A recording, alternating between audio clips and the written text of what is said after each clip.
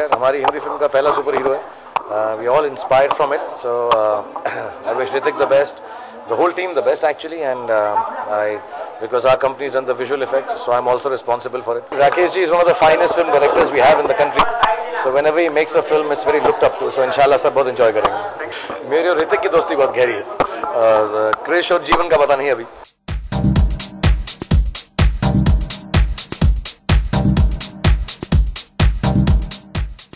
बहुत अच्छी है यार होना चाहिए। ये तो बहुत ही वर्ल्ड क्लास है एकदम स्पेशल इफेक्ट्स बहुत अच्छे हैं। और वो टिपिकल हमारा इंडियन में क्या होता है इंडिया में हम लोग इमोशन कंटेंट ज़्यादा होता है। Lot of emotion great effects great fights good performances yes damn good ये बहुत मेहनत की और तारीफ़ जब सुनता हूँ तो बहुत अच्छा लग रहा है। एंड uh, बहुत ज़्यादा और uh, मेरी सारी जो लेडी लक्स हैं वो सारी साथ में आई हैं फ़िल्म देखने के लिए। अभी रिस्पांस बहुत ज़बरदस्त मिल रहा है। फ़िल्म को रिव्यूज़ बहुत ज़बरदस्त मिले हैं। ऑलरेडी जो रिव्यूज़ निकले हैं, मेरे काम को बहुत सराह रहे हैं लोग। So fingers crossed very excited and very thankful to all my तो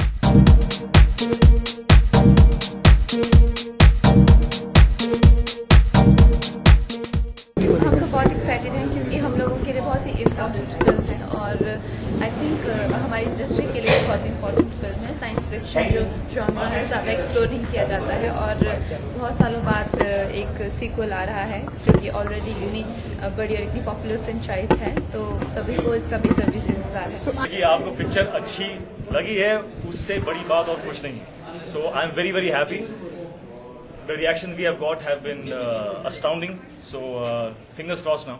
आप क्या कहेंगे मैं यही कहूँगा कि जो भी कहा है सोलह आने सच का है हंड्रेड परसेंट ट्रू कहा है क्योंकि आज पहली बार मैंने फ़िल्म देखी है आप यकीन नहीं करेंगे आज पहली बार मैंने थिएटर में देख के फ़िल्म देखी और मैं भूल गया कि मैं काल हूँ क्योंकि मैं एक बच्चा बन के फ़िल्म इतना एंजॉय करा था मैं हंसा हूँ रोया हूँ इतना एंजॉय किया और is a legend is a master और उन्होंने आज ये फ़िल्म के साथ दिखा दिया है कि वो हिंदुस्तान के स्टीवन स्पीलबर्ग।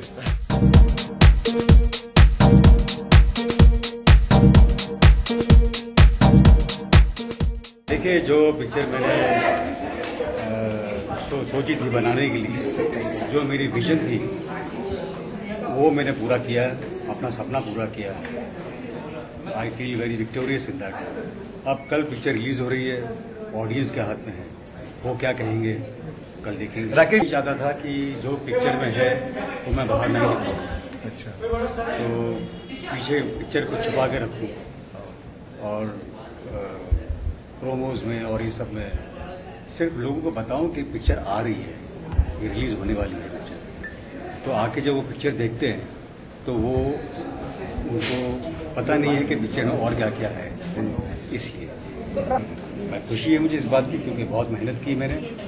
तीन साल लगे मुझे इस पिक्चर को बनाने के लिए। और अगर सब तारीफ़ करते हैं तो इससे ज़्यादा खुशी की बात है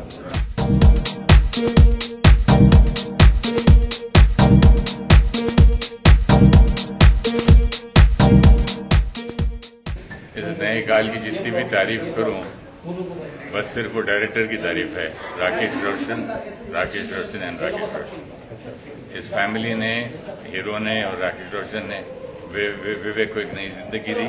नया कॉन्फिडेंस दिया, नई शुरुआत दी और मेरे, मुझे लगता नहीं इससे अच्छी फ़िल्म मैंने आज तक देखी है।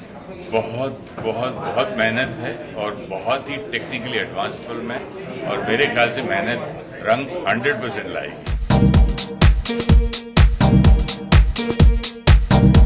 मुझे एक दो दिन तो लगेंगे अपनी हैरत को कंट्रोल करने में। ये ये हैरान हो गया हूँ मैं कि अब हमारे मुल्क में इस फिनेस और इतनी सुपीरियर टेक्निक की फ़िल्म बनता है।